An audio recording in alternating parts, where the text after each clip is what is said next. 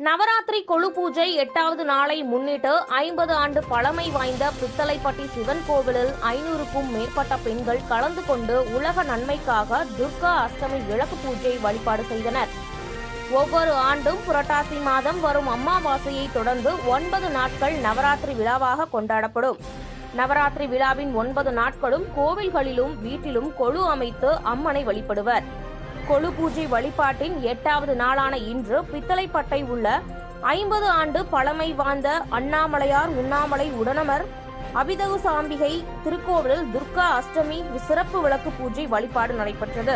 இதில் ஐநூறுக்கும் மேற்பட்ட பெண்கள் கலந்து கொண்டு உலக நன்மைக்காக விளக்கு பூஜை செய்தனர்.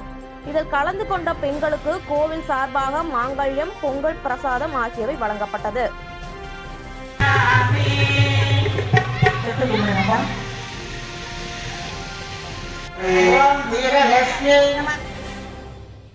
ஆண்டிப்பட்டியில் நூத்தி ஐம்பது ஆண்டுகள் பழமையான அம்மன் கோவில் புரட்டாசி மாத கோவில் திருவிழா வெகு சிறப்பாக நடைபெற்றது. தேனி மாவட்டம் ஆண்டிப்பட்டி அருகே உள்ள அம்மச்சியாபுரம் கிராமத்தில் நூத்தி ஐம்பது ஆண்டுகள் பழமையான அம்மச்சியம்மன் புரட்டாசி மாத கோவில் திருவிழா வெகு சிறப்பாக நடைபெற்றது. இவ்விழாவில் அம்மச்சியம்மனுக்கு சிறப்பு அலங்காரம் செய்யப்பட்டு அபிஷேக ஆராதனை செய்து வழிபட்டனர். இதில் ஆயிரத்திற்கும் மேற்பட்ட மக்கள் கலந்து கொண்டனர். பின்னர் திரளான பக்தர்கள் தீச்சட்டி பால்குடம் முளப்பாரி எடுத்து வந்து தங்களது நேர்த்தி கடன்களை அம்மனுக்கு செலுத்தினர்.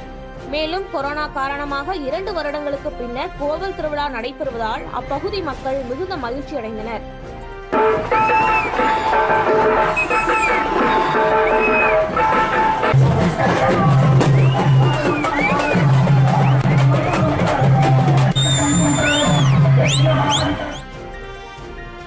ஆண்டிப்பட்டியில் ஆயுத பூஜை பொருட்கள் வாங்க அலைமோதும் மக்கள் கூட்டம். தேனி மாவட்டம் ஆண்டிப்பட்டியில் ஆயுத பூஜை சரஸ்வதி பூஜையை முன்னிட்டு கடந்த மூன்று நாட்களாகவே பிரதான சாலை மற்றும் கடைகளில் மக்கள் கூட்டம் அதிகரித்து காணப்படுகிறது.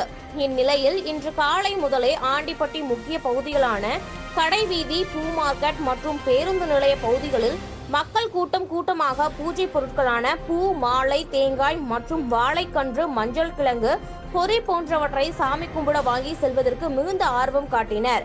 இதனால் பெரும்பாலான கடைகளில் கூட்டமாகவே காணப்பட்டது. மேலும் காலை முதலே மக்கள் தங்களது வீடுகள் மற்றும் வாகனங்களை சுத்தம் செய்தனர். கடைக்காரர்கள் கடைகளை சுத்தம் செய்து மாவிளைகள் தோரணங்கள் மற்றும் வாழைக்கன்றுகளை கடைகளில் கட்டி வருகின்றனர். பல வகையான தொழில் புரிபவர்கள் அவர்களது கருவிகளை கடவுளின் முன்பு வைத்து வழிபடவும் மாணவர்கள் தங்களது புத்தகங்களை வைத்து வழிபடவும் தயாராகி வருகின்றனர். மேலும் கார் ஆட்டோ வேன் இருசக்கர வாகனங்களை அதன் உரிமையாளர்கள் தண்ணீர் விட்டு கழுவி சுத்தம் செய்து பூஜை செய்ய தயாராகி வருகின்றனர்.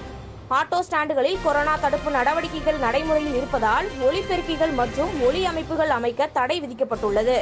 இருப்பினும் தங்கள் வாகனங்களை சாமி கும்பிடுவதற்கு தயார்படுத்தி வருகின்றனர். இதனால் சாலைகள் தெருக்கள் வீடுகள் மற்றும் கடைகள் நிறுவனங்கள் அலுவலகங்கள் மங்களகரமாக காட்சியளித்து வருகிறது.